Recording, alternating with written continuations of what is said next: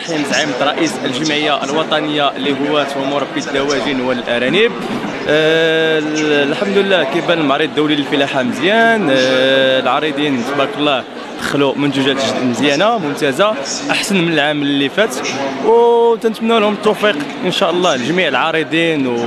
وحاجة واحدة عندي واحد الملاحظة. بالنسبة للناس اللي مسؤولين على هذا المعرض يحاولوا ما أمكن ينقصوا لنا شوية ديال الثمن surtout للجمعيات أن 1098 درهم ال mètre carré. يعني شوية مبلغ كبير ومبلغ قاصح على الجمعيات كجمعية ديالنا أنها باش آه، تشارك. يعني شي شوية.